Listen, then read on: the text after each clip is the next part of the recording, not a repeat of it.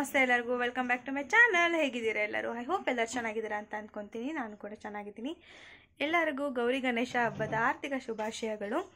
ಇವತ್ತು ಶುಕ್ರವಾರ ಗೌರಿ ಪೂಜೆ. ಇವತ್ತೇ ನಾವು ಗೌರಿ ಪೂಜೆನ ಮಾಡ್ತಾ ಇದ್ದೀವಿ. ನಾಳೆ ಗಣೇಶನ ಹಬ್ಬ ಇದೆ. ನಮಗೆ ಗೌರಿ ಪೂಜೆನೇ ಮೇನ್ ನಾವು ವರಮಲಕ್ಷ್ಮಿ ಹಬ್ಬದ ದಿನ ಏನು ದೇವ್ರು ಕೂರಿಸಲ್ಲ, ಹಾಗಾಗಿ ನಾವು ಗೌರಿ ಹಬ್ಬದ ದಿನ ಗೌರಮ್ಮನ ಕೂರಿಸೋದು. ಟೈಮ್ ಹನ್ನೆರಡು ಗಂಟೆಗೆ ಚೆನ್ನಾಗಿದೆ ಅಂತ ಹೇಳಿದ್ದಾರೆ. ಬೆಳಿಗ್ಗೆ ಚಪಾತಿನ ತಿಂಡಿ ತಿಂದ್ಕೊಂಡು ಇವಾಗ ಅಮ್ಮ ಎಲ್ಲ ಅಡುಗೆ ಮಾಡ್ತಾ ಇದ್ದಾರೆ.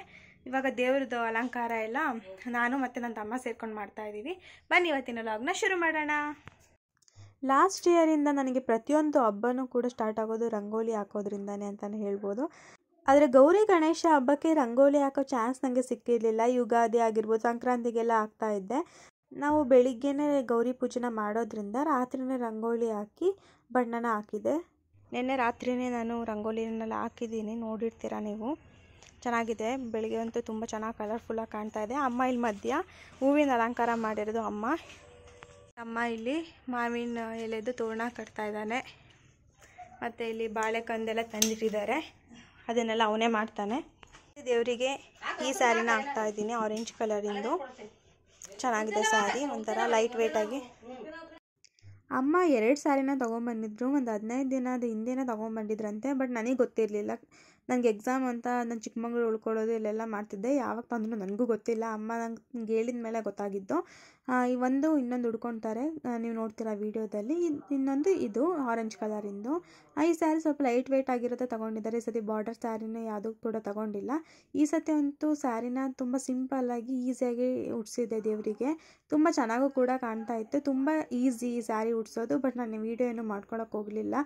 ಇವತ್ತು ಬೆಳಿಗ್ಗೆನೇ ಸ್ಯಾರಿ ಎಲ್ಲ ಉಡ್ಸಿದ್ರಿಂದ ಗಡಿ ಬಿಡಿಲಿ ವಿಡಿಯೋ ಏನು ಮಾಡ್ಕೊಳ್ಳೋಕ್ಕೆ ಟೈಮ್ ಆಗಲಿಲ್ಲ. ನೋಡಿ, ಇವಾಗ ಒಂದು ಸಣ್ಣ ಕೊಡೋಕ್ಕೆ ಇವತ್ತು ಸೀರೆನ ಉಡ್ಸ್ಬಿಟ್ಟು ಅದ್ರ ತುಂಬ ನೀರನ್ನು ತುಂಬಿ ಒಂದು ಮಾವಿನ ಎಳೆ ಐದು ರೂಪಾಯಿಂದು ಕಾಯಿನ್ ಮತ್ತು ಡ್ರೈ ಫ್ರೂಟ್ಸ್ನ ಹಾಕಿದ್ದೀವಿ. ಮತ್ತು ಮತ್ತು ಇಲ್ಲಿ ಬಾಳೆಕಂದ ಕೂಡ ಕಟ್ಟಾಗಿದೆ ಫ್ಯಾನ್ಸಿ ಸ್ಯಾರಿ ಆಗಿರೋದ್ರಿಂದ ಪ್ಲೇಟ್ಸ್ ಎಲ್ಲ ಚೆನ್ನಾಗಿ ಕೂರ್ತು. ನನಗೇನು ಅಷ್ಟು ರಿಸ್ಕ್ ಕೂಡ ಅನಿಸ್ಲಿಲ್ಲ. ಇಲ್ಲಿ ದೇವರಿಗೆ ನಾನು ಯಾವ ಒಲೆನ ಹಾಕೊಳ್ಳೋದು ಅಂತ ತೆಗೆದಿಟ್ಕೊಂಡಿದ್ದೀನಿ. ಇದು ಸರ ನಾನು ಹಾಕಲಿಲ್ಲ, ಯಾಕೆಂದರೆ ಸ್ವಲ್ಪ ಜಾಸ್ತಿ ಓವರ್ ಥರ ಕಾಣಿಸ್ಬಿಡುತ್ತೆ ಅಂತ ಸಿಂಪಲ್ ಆಗಿರೋದೊಂದು ಸರ ಹಾಕಿದ್ದೀನಿ. ದೇವರಿಗೆ ಅವರೇ ಇಲ್ಲಿ ಓಲನ್ನ ಕೊಟ್ಟಿದ್ರು. ಅದಕ್ಕೆ ನಾವು ಓಲೆನ ಸೇರಿಸಿದ್ರೆ ಮುಗೀತು.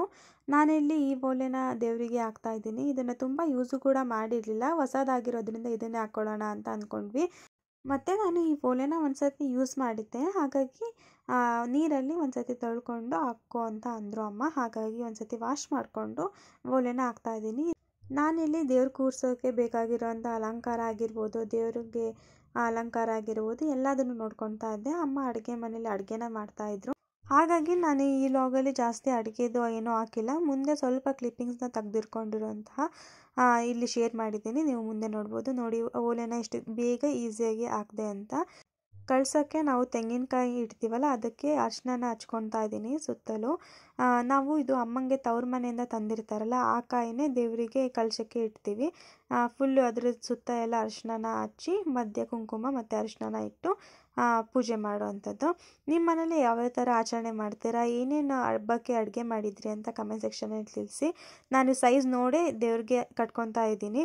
ಯಾಕೆ ಅಂದರೆ ಇಲ್ಲಾಂದರೆ ಹಗ್ಳ ಆಗಿಬಿಡುತ್ತೆ, ಇಲ್ಲ ಚಿಕ್ಕದಾಗಿಬಿಡುತ್ತೆ. ಹಾಗಾಗಿ ಒಂದು ಸತಿ ಮುಖೋಡ ಎಷ್ಟಿರುತ್ತೋ ಅಷ್ಟು ಅಗ್ಲದ್ದು ಕಾಯಿ ತಗೊಂಡಿದ್ದೀನಿ.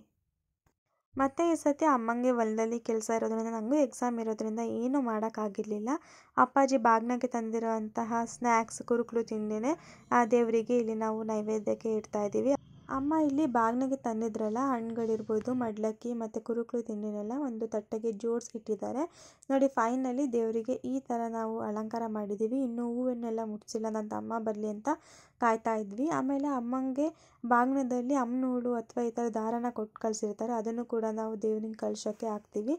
ನಮ್ಮ ಸಂಪ್ರದಾಯದ ಪ್ರಕಾರ ಎಲ್ಲ ಪೂಜೆಗಳಲ್ಲೂ ನಮಗೆ ಗಣಪತಿ ಮೇನ್ ಬೇಕೇ ಬೇಕು ಅಲ್ವಾ? ಹಾಗಾಗಿ ಬಾಳೆಹಣ್ಣಲ್ಲೇ ನಾನು ಈ ಸತಿ ಗಣಪತಿನ ಮಾಡಿದ್ದೀನಿ.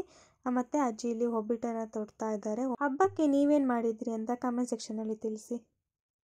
ಫೈನಲಿ ದೇವರಿಗೆಲ್ಲ ಹೂವನ್ನ ಮುಡಿಸಿ ದೇವರನ್ನ ಅಲಂಕಾರ ಮಾಡಿದ್ದೀವಿ. ಈ ಥರ ಕಾಣ್ತಾ ಇದೆ ನಮ್ಮನೆ ಗೌರಿ. ಅತ್ತೆಗೆ ಬಾಗಿನ ಸಾಮಾನು ತಗೊಂಡು ಹೋಗೋಣ ಅಂತ ಸಂದೆಗೆ ಬಂದಿದ್ವಿ ನಾನು, ಪಾಪ. ನಾವು ಮನೆಗೆ ಹೋಗೋಷ್ಟೊತ್ತಿಗೆ ಅಮ್ಮ ಆಲ್ರೆಡಿ ಪೂಜೆನೂ ಕೂಡ ಮಾಡಿದ್ರು. ಗೌರಿ ಪೂಜೆ ಮಾಡೋದಕ್ಕೆ ಬೆಳಿಗ್ಗೆ ಹನ್ನೆರಡು ಗಂಟೆ ಒಳ್ಳೆ ಟೈಮ್ ಇತ್ತು. ಹಾಗಾಗಿ ಅದೇ ಟೈಮಲ್ಲಿ ಕರೆಕ್ಟಾಗಿ ನಮ್ಮ ಮನೆಯಲ್ಲಿ ನೈವೇದ್ಯನೂ ಕೂಡ ಆಯಿತು, ದೇವರಿಗೆ ಪೂಜೆನೂ ಕೂಡ ಆಯಿತು. ಇವಾಗ ನನ್ನ ಹಬ್ಬದ ಫೇವ್ರೇಟ್ ಟೈಮ್ ನನಗೆ ಕಂಕಣ ಕಟ್ಕೊಳ್ಳೋದು ಅಂದರೆ ತುಂಬಾ ಇಷ್ಟ. ಅಮ್ಮಂಗೆ ಬಾಗ್ನದಲ್ಲೇ ಅರಿಶ್ಣ ದಾರನ ಕೊಟ್ಟು ಕಳಿಸಿರ್ತಾರೆ ಆಮೇಲೆ ಗೌರಿ ದಾರ ಅಂತಲೂ ಕೂಡ ಕೊಟ್ಟು ಕಳಿಸಿರ್ತಾರೆ ನಾವಿಲ್ಲಿ ಕಂಕಣನ ಮಾಡ್ಕೊತೀವಿ. ಅಮ್ಮಂಗೆ ಅರಿಶ್ಣ ದಾರ ಕೊಟ್ಟು ಕಳಿಸಿರ್ತಾರಲ್ಲ ಅದಕ್ಕೆ ಒಂದು ಹೂವನ್ನ ಕಟ್ಕೊಂಡು ನಾವಿಲ್ಲಿ ಕಂಕಣನ ಮಾಡಿಕೊಂಡು ಮುತ್ತೈದೆಯರ ಕೈಗೆ ಕಟ್ಕೊತಾರೆ. ನನಗೂ ಅಮ್ಮ ಕಟ್ತಾರೆ, ನಾನು ಅಮ್ಮಂಗೆ ಕಟ್ತೀನಿ. ಇದಂತೂ ನನಗೆ ಪ್ರತಿ ವರ್ಷವೂ ತುಂಬ ಏನೋ ಒಂಥರ ಪೀಸ್ಫುಲ್ ಡಿವೈನ್ ಅನ್ನೋವಂಥ ಫೀಲ್ನ ನನಗೆ ಕೊಡುತ್ತೆ. ಹಬ್ಬದಲ್ಲಿ ನನಗೆ ಫೇವ್ರೇಟ್ ಪಾರ್ಟ್ ಅಂತ ಅಂದರೆ ನನಗೆ ಇದೆ ಈ ಕಂಕಣ ಕಟ್ಕೊಳ್ಳೋದು. ಕಂಕಣನ ಕಟ್ಕೊಂಡಾದ್ಮೇಲೆ ಮೈಂಡ್ ಒಂಥರ ಪೀಸ್ಫುಲ್ಲಾಗಿ ಪಾಸಿಟಿವ್ ಥಿಂಕಿಂಗ್ ಬರುತ್ತೆ ಅಂತ ನನ್ನ ಅಭಿಪ್ರಾಯ. ಕರೆಕ್ಟ್ ಟೈಮಿಗೆ ಪೂಜೆನೂ ಆಯಿತು, ನೈವೇದ್ಯನೂ ಆಯಿತು ಅಂತ ಅಮ್ಮಂಗೆ ನೆಮ್ಮದಿ. ಆ್ಯಕ್ಚುಲಿ ಅಮ್ಮ ಬೆಳಿಗ್ಗೆ ನಾಲ್ಕು ಗಂಟೆಗೆ ಎದ್ದು ಪ್ರತಿ ಸಲ ಹತ್ತು ಗಂಟೆ ಅಷ್ಟೊತ್ತಿಗೆ ಹಬ್ಬನ ಮುಗಿಸ್ಬಿಡೋರು. ಅದು ಇವಾಗ ದಾಳಿಂಬೆ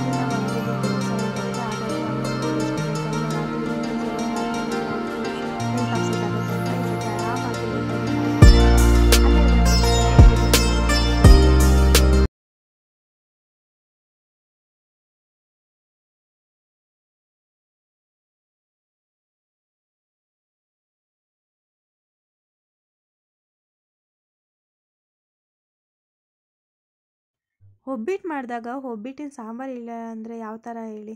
ಒಬ್ಬಿಟ್ಟಿನ ಸಾಂಬಾರು ಅಂತೂ ಈ ಸತಿ ಅಂತೂ ತುಂಬ ಚೆನ್ನಾಗಿತ್ತು. ನನಗಂತೂ ಖಾರ ಇರಬಾರ್ದು. ಅದೇ ಥರ ಅಮ್ಮ ಇವತ್ತು ಹದವಾಗಿ ಚೆನ್ನಾಗಿ ಮಾಡಿದರು. ಪ್ರತಿ ಸಲ ಮಾಡ್ದಂಗೆ ಕೂಡ. ನಾನು ಅಮ್ಮಂಗೆ ನಿನ್ನೆ ರಾತ್ರಿನೇ ಮಾಡೋಣ ಬಿಡು ಕರ್ಜಿಕಾಯಿ ಅಂತ ಹೇಳಿದೆ. ಬಟ್ ಅಮ್ಮ ಸುಸ್ತಾಗಿದೆ ನನಗೆ ಬೇಡ ಅಂತ ಹೇಳಿದರು. ಕೊನೆ ಟೈಮಲ್ಲಿ ಊಟ ಎಲ್ಲ ಆದಮೇಲೆ ಅತ್ತೆಗೆ ಕರ್ಜಿಕಾಯಿನ ಕೊನೆಗೂ ಕೂಡ ಮಾಡಿದ್ವಿ. ಬೆಳಗ್ಗೆ ಪೂಜೆದೆಲ್ಲ ವ್ಲಾಗ್ ನೋಡಿದ್ದೀರಾ? ನಾವಿವತ್ತು ದಿನವೆಲ್ಲ ಹಬ್ಬನೇ ಆಯಿತು. ಅಮ್ಮ ಸಲ ಸಲ ಏನು ಮಾಡೋರು ಅಂದರೆ ಬೆಳಗ್ಗೆ ನಾಲ್ಕು ಗಂಟೆಗೆ ಎತ್ತಿಬಿಟ್ಟು ಮಾಡೋರು. ಇವಾಗ ಹೊಲಕ್ಕೆ ಹೋಗ್ತಿರೋದ್ರಿಂದ ಅಮ್ಮಂಗೂ ನಿದ್ದೆ ಪ್ರಾಬ್ಲಮ್ ಆಗುತ್ತೆ, ಇದ್ದೇ ಇರಲ್ಲ. ಆಮೇಲೆ ತುಂಬ ಟಯರ್ಡ್ ಆಗಿರ್ತಾರೆ. ಹಾಗಾಗಿ ನಾವೇನಂತ ಅಂದ್ಕೊಂಡ್ವಿ ನಿಧಾನಕ್ಕೆ ಬೆಳಗ್ಗೆ ತಿಂಡಿ ತಿಂದು ಮಾಡಿಬಿಡೋಣ ಅಂತ ಅಂದ್ಕೊಂಡ್ವಿ ಆದರೂ ನಾವು ತಿಂಡಿ ತಿಂದು ಮಧ್ಯಾಹ್ನ ಊಟ ಮಾಡಿಸೋದಿಗೆ ಅಲ್ಲಿ ಮೂರು ಗಂಟೆ ಆಗಿಬಿಟ್ಟಿತ್ತು. ಇವಾಗ ಸಂಜೆ ಅರ್ಶಿನ ಕುಂಕುಮಕ್ಕೆ ಬರ್ತಾರೆ. ಆಮೇಲೆ ಸಂಜೆ ಮಾರ್ತಿ ಮಾಡಬೇಕಲ್ಲ, ಅದನ್ನು ಇವತ್ತು ಮಾಡೋಣ ಅಂತ.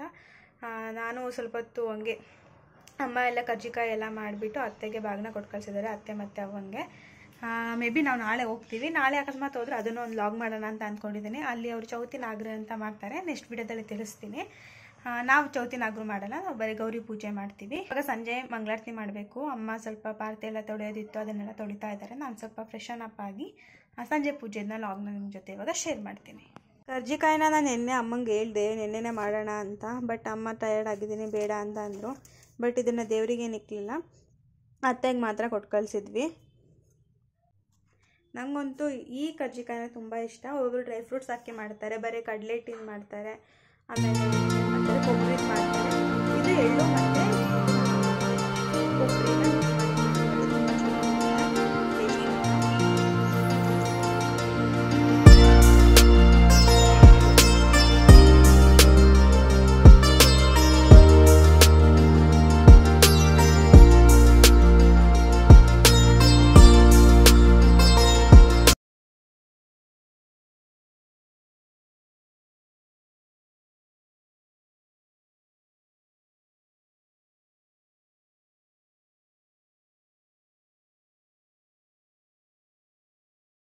ನಮ್ಮ ಮನೇಲಿ ಸಂಜೆ ಪೂಜೆ ಮುಗಿಸ್ಕೊಂಡು ನಾನು ನನ್ನ ಫ್ರೆಂಡ್ ಮನೆಗೆ ಅರ್ಶಿನ ಕುಂಕುಮಕ್ಕೆ ಅಂತ ಹೋಗಿದ್ದೆ. ಅವ್ರ ಮನೇಲೂ ಕೂಡ ತುಂಬ ಚೆನ್ನಾಗಿ ಗೌರಮ್ಮನ ಕೂರಿಸಿದ್ರು. ಇವಳೊಂದು ನಂಗೆ ಆಲ್ಮೋಸ್ಟ್ ಚೈಲ್ಡ್ಹುಡ್ಡಿಂದನೂ ಕೂಡ ನನಗೆ ಫ್ರೆಂಡು ರಾತ್ರಿ ತವ್ರ ಮನೆಯಿಂದ ಬಾಗಿನ ಕೊಟ್ಟು ಕಳಿಸಿರ್ತಾರಲ್ಲ, ಅದರಲ್ಲೊಂದು ಕಾಯಿನ ದೇವ್ರಿಗೂ ಕೂಡ ಪೂಜೆ ಮಾಡಿಸ್ಕೊಂಬರೋಣ ಅಂತ ದೇವಸ್ಥಾನಕ್ಕೆ ಹೋಗಿದ್ವಿ.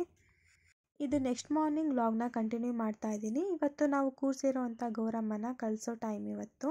ಒಂದು ದಿನ ಆದಮೇಲೆ ನಾವು ಗೌರಮ್ಮನ ಕಳಿಸ್ತೀವಿ. ಪ್ರತಿ ವರ್ಷವೂ ನಾವು ಇದೇ ಥರ ಮಾಡ್ಕೊಂಡು ಬಂದಿರೋದು. ಇಲ್ಲ, ಅಕಸ್ಮಾತ್ ಬೆಳಿಗ್ಗೆ ಒಬ್ಬೊಬ್ಬರು ಬೇಗ ಕೂರಿಸಿ ಸಂಜೆ ಅಷ್ಟೊತ್ತಿಗೆ ಕಳಿಸ್ತಾರೆ. ನಾವು ಒಂದು ರಾತ್ರಿನ ಇಟ್ಕೊಂಡು ಬೆಳಗ್ಗೆ ನಾವು ದೇವ್ರನ್ನ ಕಳಿಸ್ತೀವಿ. ಬೆಳಿಗ್ಗೆ ಒಂಬತ್ತು ಗಂಟೆ ಅಷ್ಟೊತ್ತಿಗೆ ದೇವ್ರನ್ನ ಕಳಿಸ್ಬೇಕಾಗಿತ್ತು. ಹಾಗಾಗಿ ಇಲ್ಲಿ ನಾನೀಗ ಪೂಜೆ ಮಾಡ್ತಾ ಇದ್ದೀನಿ. ಇವತ್ತು ಶನಿವಾರ ಆಗಿರೋದ್ರಿಂದ ಮನೆ ಪೂಜೆನೂ ಆಗಬೇಕಲ್ವ? ಹಾಗಾಗಿ ಮನೆ ಪೂಜೆನೂ ಕೂಡ ಮಾಡಿಕೊಂಡು ದೇವರಿಗೂ ಕೂಡ ಪೂಜೆ ಮಾಡಿ ಏನಾದರೂ ಸಿಂಪಲ್ಲಾಗಿ ನೈವೇದ್ಯನ ಮಾಡಿ ದೇವ್ರನ್ನ ಕಳಿಸ್ತೀವಿ. ದೇವ್ರನ್ನ ಕೂರಿಸ್ಬೇಕಾದ್ರೆ ಎಷ್ಟು ಖುಷಿ ಇರುತ್ತೋ, ದೇವ್ರನ್ನ ಕಳಿಸ್ಬೇಕಾದ್ರೆ ಅಷ್ಟು ಮನಸ್ಸು ಒಂಥರ ಭಾರ ಆಗಿರುತ್ತೆ ಅಂತಲೇ ಹೇಳ್ಬೋದು. ಅಷ್ಟು ಕಷ್ಟಪಟ್ಟು ಸೀರೆ ಉಡಿಸಿ, ಅಷ್ಟು ಖುಷಿ ಖುಷಿಯಿಂದ ನಾವು ಕೂಡ ರೆಡಿಯಾಗಿ, ದೇವರಿಗೂ ಕೂಡ ಅಲಂಕಾರ ಮಾಡಿರ್ತೀವಿ. ಬಟ್ ನೆಕ್ಸ್ಟ್ ಡೇ ಅದನ್ನು ಕಳಿಸ್ಬೇಕಾದ್ರೆ ತುಂಬಾ ಮನಸ್ಸಿಗೆ ಬೇಜಾರಾಗುತ್ತೆ. ಆದರೂ ಪ್ರತಿ ವರ್ಷ ಇದೆ ಅಲ್ವಾ? ಹಾಗಾಗಿ ಮುಂದಿನ ವರ್ಷವೂ ಕೂಡ ಕೂರಿಸ್ತೀವಿ ಅನ್ನೋ ಭರವಸೆ ಮೇಲೆಗೆ ದೇವ್ರನ್ನ ನಾವು ಕಳಿಸ್ಕೊಡ್ಬೇಕಾಗತ್ತೆ. ಅಮ್ಮ ದೇವ್ರಿಗೆ ಹಾಕಿರೋವಂಥ ಹೂವನ್ನೆಲ್ಲ ತೆಗೆದಿಟ್ಟು ಅದನ್ನು ಮತ್ತೆ ಕಾಯಿ ಮುಖೋಡ ಎಲ್ಲ ಇರುತ್ತಲ್ಲ, ಅದನ್ನೆಲ್ಲ ದೇವ್ರ ಮನೆಗೆ ಇಟ್ಕೊತೀವಿ ಈ ನೀರನ್ನು ಯಾವುದಾದ್ರೂ ಗಿಡಕ್ಕೆ ಹಾಕ್ಕೊತೀವಿ ಇದೇ ಥರ ನಾವು ಎಲ್ಲ ಮಾಡ್ಕೊಂಬರ್ತಾ ಇರೋದು ಪ್ರತಿ ವರ್ಷವೂ ಕೂಡ. ನೀವು ನಿಮ್ಮ ಮನೇಲಿ ಯಾವ ಥರ ಗೌರಿ ಪೂಜೆ, ಗೌರಿ ಹಬ್ಬನ ಮಾಡಿದ್ರಿ ಅಂತ ಕಮೆಂಟ್ ಸೆಕ್ಷನಲ್ಲಿ ತಿಳಿಸಿ. ನನಗೂ ಈ ಥರ ದೇವ್ರನ್ನೆಲ್ಲ ಕಳಿಸ್ಬೇಕಾದ್ರಂತೂ ತುಂಬಾ ಬೇಜಾರಾಗುತ್ತೆ. ನಿನ್ನೆ ಇನ್ನೂ ನಾವಿನ್ನೂ ಕೂರಿಸೇ ಇರಲಿಲ್ಲ ದೇವರನ್ನ. ಆಲ್ರೆಡಿ ದೇವ್ರನ್ನ ಇವಾಗ ನಾವು ಕಳಿಸ್ತಾ ಇದ್ದೀವಿ. ನಮ್ಮ ಮನೇಲೆ ವಿಳೆದೆಲೆ ಗಿಡ ಇದೆಯಲ್ಲ, ಆ ಗಿಡಕ್ಕೆ ನಾವು ಆ ದೇವ್ರು ಕೂರಿಸಿರೋಂಥ ನೀರನ್ನು ಹಾಕಿದ್ವಿ. ಓಕೆ ಗಾಯ್ಸ್ ಇದಾಗಿತ್ತು ನಮ್ಮ ಮನೆಯ ಗೌರಿ ಹಬ್ಬ, ಗೌರಿ ಪೂಜೆ. ಈ ವಿಡಿಯೋ ನಿಮಗೆ ಇಷ್ಟ ಆಗಿದ್ರೆ ಲೈಕ್ ಶೇರ್ ಆ್ಯಂಡ್ ಕಮೆಂಟ್ ಮಾಡಿ. ಇನ್ನೊಂದು ನನ್ನ ಚಾನಲ್ಗೆ ಯಾರು ಸಬ್ಸ್ಕ್ರೈಬ್ ಆಗಿಲ್ವೋ, ಬೇಗ ಹೋಗಿ ಸಬ್ಸ್ಕ್ರೈಬ್ ಆಗಿ ಪಕ್ಕದಲ್ಲಿರೋ ಬೆಲ್ಲೈಕನ್ನ ಕ್ಲಿಕ್ ಮಾಡಿ. ಇನ್ನು ಮುಂದಿನ ವೀಡಿಯೋದಲ್ಲಿ ಸಿಗ್ತೀನಿ, ಅಲ್ಲಿ ತನಕ ಎಲ್ಲ ಖುಷಿಯಾಗಿರಿ. ಅವನಷ್ಟೇ